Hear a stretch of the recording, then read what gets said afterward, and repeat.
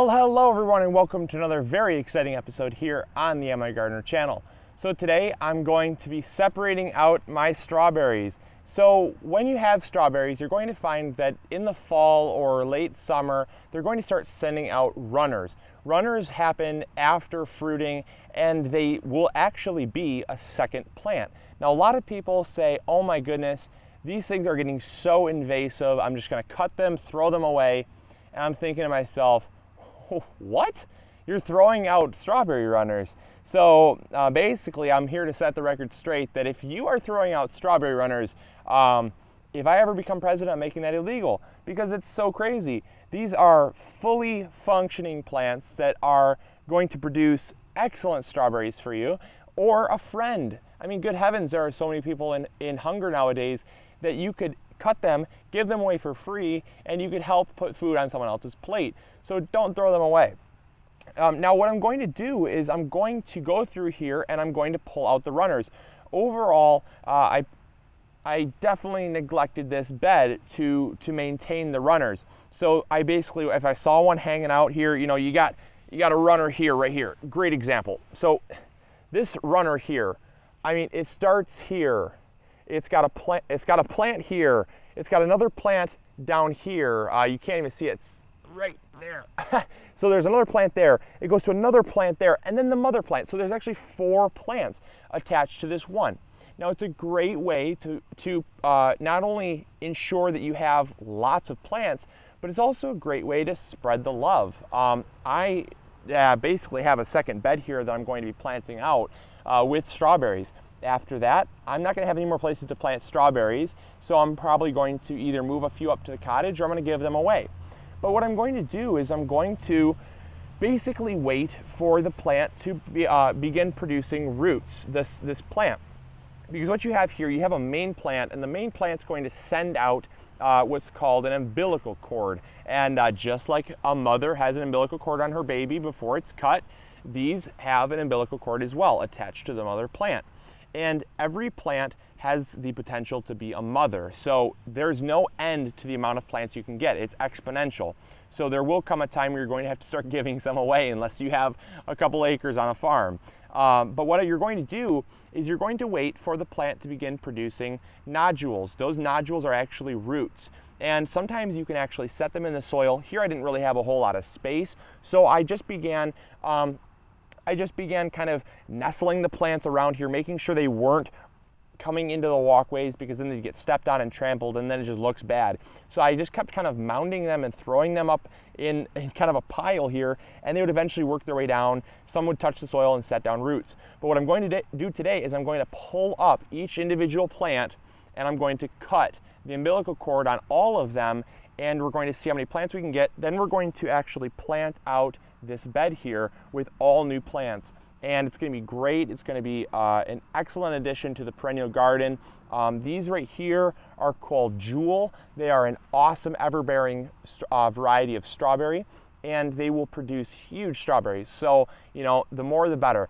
And so I'm gonna get to this, I'm gonna pull these up, and then what we're going to do is ones that have the nodules, like I was speaking about, are ready to root. So I'm just going to take them I'm going to cut the umbilical cord from the mother plant because that will allow the mother plant to put more energy into putting out bigger fruit. So you do want to cut the uh, you do want to cut the runners because if you leave them over time, you'll find that it's kind of a chain reaction. Um, the mother plant will be feeding another plant that'll be feeding another plant that'll be feeding another plant, and you really won't have the fruit production that you would hope. You'd have a lot of plants, but not a whole lot of fruit production. So this is a way that you can ensure lots of plants and lots of fruit. I mean, in what way is that not a win-win situation? So we're gonna get to that and we're gonna get started. I'll catch y'all in a little bit. All right, so we basically ended up with this massive pile of uh, strawberry runners. So what I'm going to do is I'm just going to basically take the strawberry runner and I'm going to just take my hand, wiggle a little hole and pop her down there. It's really no science. Um, I'm going to try not to bury past the crown, um, the crown being the part where the roots would normally come out. And I'm just going to uh, just going to bury them pretty much right at soil level uh, so that they don't have crown rot. and you can see the video on how to properly plant strawberries um, for, for a more in-depth tutorial on that. So there we go. We're all finished and the bed is completely planted out. These will begin to take root within a couple days. They'll begin growing, putting on new growth, and getting ready for winter dormancy. It's perfectly fine to plant them in the fall. Everyone always says, ah, don't plant strawberries in the fall. They won't have a time to get their root system established. They'll be plenty fine. And also what you can do is you can mulch them with some mulched up leaves or grass clippings.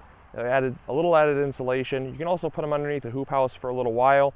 Uh, I leave them just like this and they honestly came out just fine. So no need to worry about it. They're gonna do great. So like I said, I had a lot of plants that I couldn't plant because the bed is full and basically I'm left with a bunch of extra plants.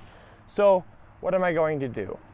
I'm going to take these plants, I'm going to set them right on the surface here, allow them to set down roots, and then what I'm going to do is once they've set down roots, I'm going to have a giveaway. And that's what I'm going to do. I'm going to send some to you and a couple of the viewers as well. I'm going to have a giveaway in a couple weeks once these have a nice root system. That way I can pick the ones that will survive for you. And then uh, when I come back in two weeks, what I'm going to do is I'm going to make a video having a drawing. I'm going to then pull them up bare root and I'm going to pack them in uh, just some wet paper towel, put them in a flat rate box for you or a flat rate envelope and I'll send them off to you. And then all you have to do is plant them and then they should be ready for winter. Now, if you do have uh, winter in your area already, all you have to do is plant them in a windowsill, get them growing, and uh, then all you have to do is move them to a place where it gets a little cooler and they'll begin to go dormant for you. So it's really not difficult to get these things started. Even in the wintertime, you can plant these, uh, get them growing, and, uh, and they'll go dormant for you, and then they'll sprout in the springtime when the weather conditions are proper. And as always, this is Luke from MI Gardener, hoping you learned something new, hoping you enjoyed, and also I hope you're growing big or going home, and I'll catch y'all later. All right, see ya. Bye.